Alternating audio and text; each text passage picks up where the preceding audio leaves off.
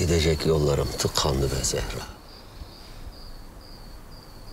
Neye elimi atsam? Yok. Hani tek bir çare var. O da Miran'ı ikna edip hastaneye götürmek. Test yaptırmak ama ikna olmaz ki. Mümkün değil. Hastane. İşte ama mümkün değil. İkna olmaz. Ondan bahsetmiyorum ben gel. Ne oldu? Hani sen hastaneye yattığın vakit bir kan meselesi olmuştu. Hani sana kan nakli yapılmıştı da sen nöbet geçirmiştin, kötüleşmiştin.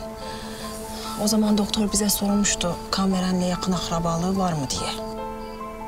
He, yani? Bize dedikleri bu hastalık iki sebepten oluyormuş. Sebeplerden biri de kan verenle yakın akrabalıkmış.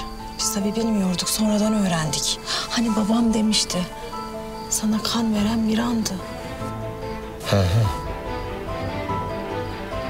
Yani sen diyorsun ki Miran benim oğlum olduğu için mi ben öyle hastalandım? Neden olmasın Hazar Bey? Sence bu kadar tesadüf biraz fazla değil mi? O vakit ben gideyim doktorla bir konuşayım ha. Sabah ilk iş git Can Bey'i bul. Ben inanıyorum Hazar Bey. Bence Miran senin oğlun.